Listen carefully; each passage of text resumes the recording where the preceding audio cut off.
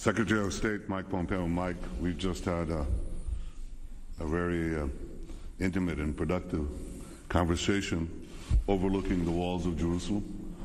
Uh, and it reminded me of uh, how deep and profound your tie is to the Jewish state.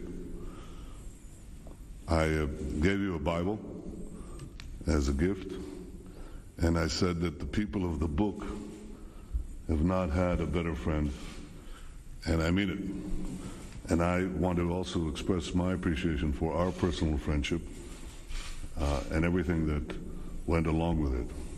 So every word that I'm saying here is meant from the heart.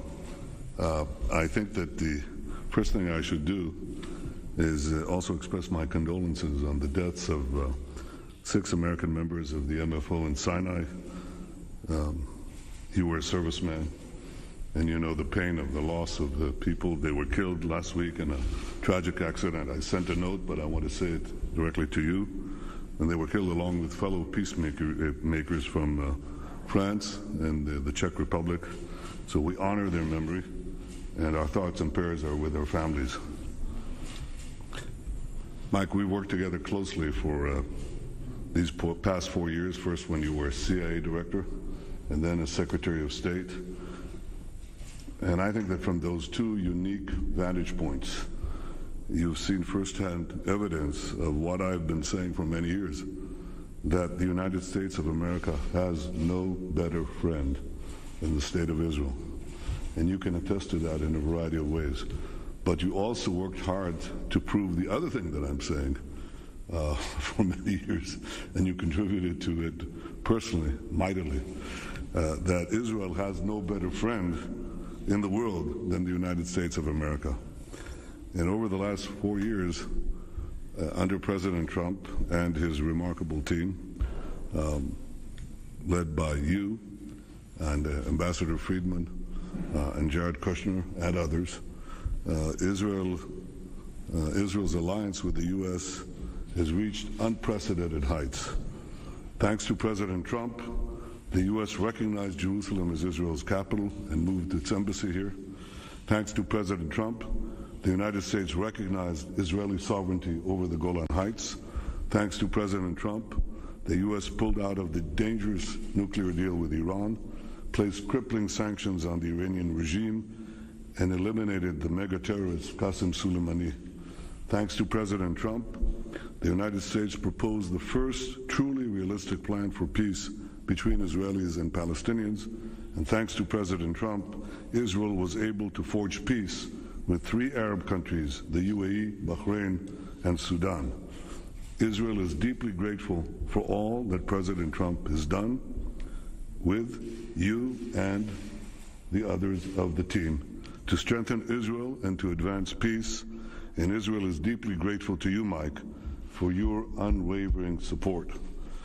You have, uh, under your leadership uh, in uh, the state, the CIA, and the State Department, you strengthened the alliance between Israel and the United States. In your tenure at the CIA, intelligence cooperation was made stronger than ever, enhancing the security of both our countries. Under your leadership at the State Department, U.S. representatives at the UN and other international forums have unabashedly defended Israel with no uh, apologetics and no uh, artificial correctives just defended Israel, defended what is right, defended what is true. America has firmly stood up to the perversion of justice at the ICC. And I want to thank you for your personal involvement in all these things. Everything that I said involves your personal contribution as well. And the U.S. rejected the assumptions about the legal status of Israeli communities in Judea and Samaria.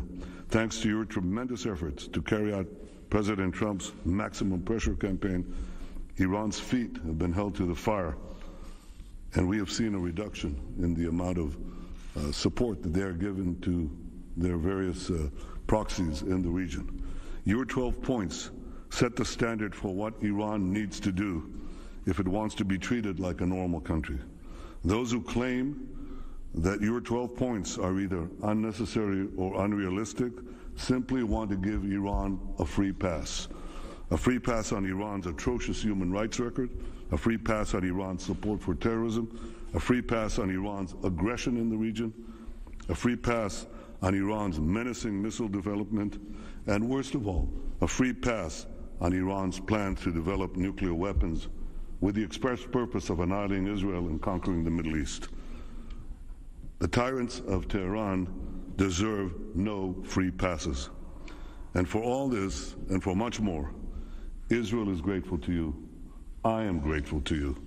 Thank you, Mike, for your tremendous friendship and for your invaluable contribution to our alliance and to Israel's security and to the expansion of the circle of peace. Thank you, friend, and we hope to see you uh, next year in Jerusalem. Thank you. Uh, Mr. Prime Minister, it is um, it's an honor and a joy to be here with you uh, today. Uh, last night I, I, had a chance to walk through the city of David. Uh, today you and I met looking out over the uh, the old city. Um, the peace, the increased prosperity, and the reduced risk to citizens all across the world and in the region and to here in the Jewish homeland that we have accomplished together is historic. And you should be proud that you have led your people in this direction. And uh, President Trump, I know, is proud of the work that we have done alongside of you. Um, we've done incredible things. It's remarkable. You went through the list, whether it's the, the simple fact of recognizing the reality of uh, Jerusalem as the rightful, proper, true capital of Israel. Crazy that the United States hadn't done this uh, for decades. And then we moved our embassy there.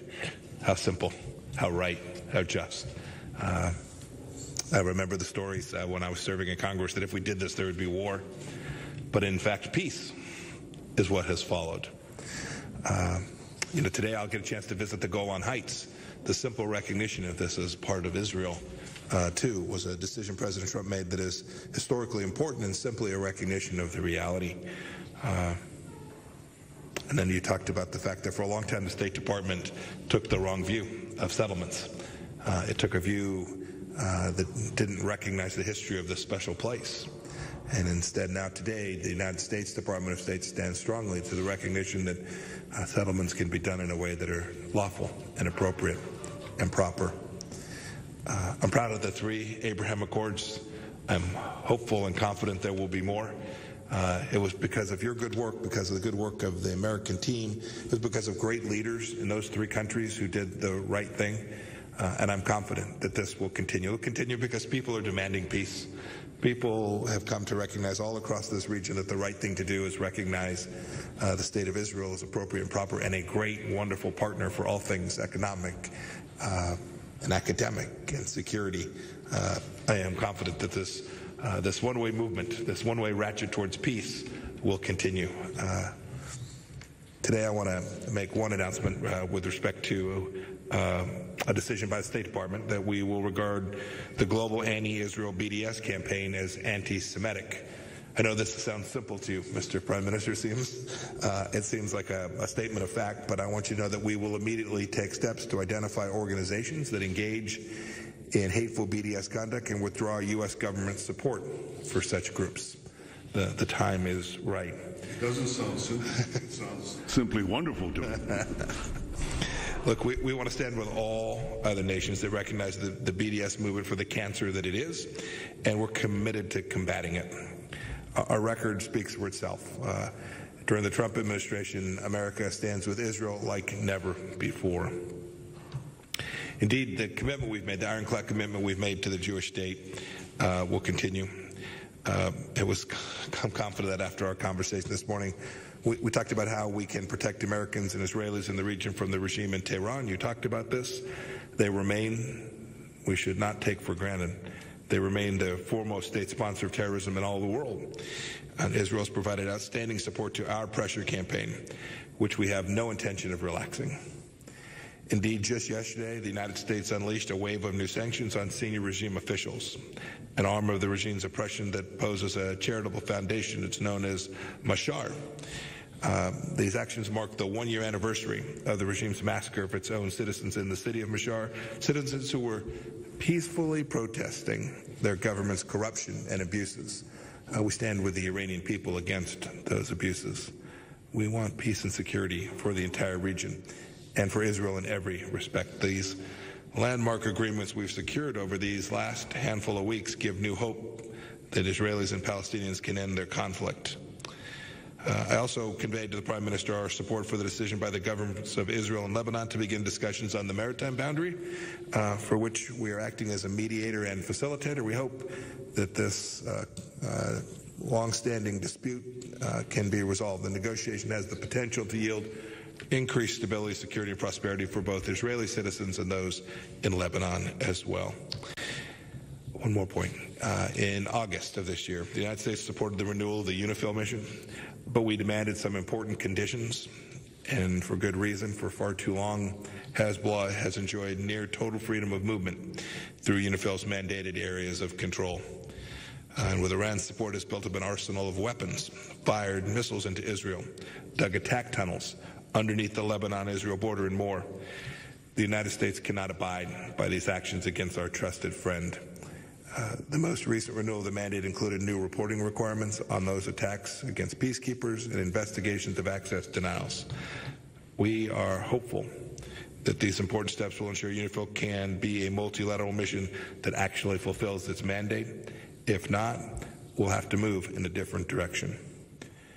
Mr. Prime Minister, uh, it's always an honor to be here with you and to visit Israel.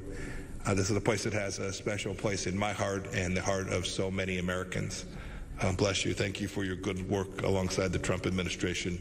Uh, I wish uh, all of us many, many more years of successful partnership between our two countries. Thank you, Mr. President. Thank you, Mike. Thank you.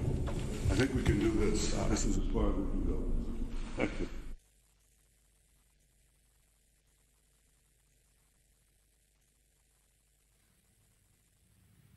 So we've just uh, heard there the comments from uh, Secretary of State Mike Pompeo and Prime Minister Benjamin Netanyahu.